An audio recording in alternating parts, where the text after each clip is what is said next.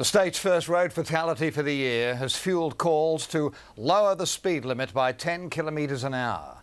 The 31 year old man died in the state's southwest. Two others left injured when their ute flipped.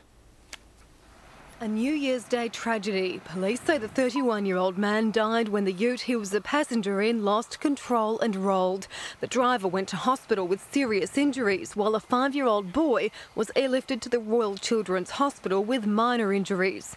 Road trauma experts say it's time we seized control of the road toll. And the research really points to speed reduction being having the strongest effect. His research suggests the state's speed limits be lowered by 10 kilometres. Well, look, it might seem a little radical, and perhaps it is for Australian conditions, but if you look to uh, other parts of the world, countries that we'd say are comparable uh, to our own, it's not radical. He says it would cut pedestrian deaths too, with stopping distances significantly reduced the slower the speed. 50 k's an hour taking 31 metres to stop, 40 k's an hour much less. We need to look at particularly areas of high density uh, where there is a lot of pedestrian traffic moving. I think targeted reductions in speed limits would be appropriate in appropriate zones, but they'd have to be identified.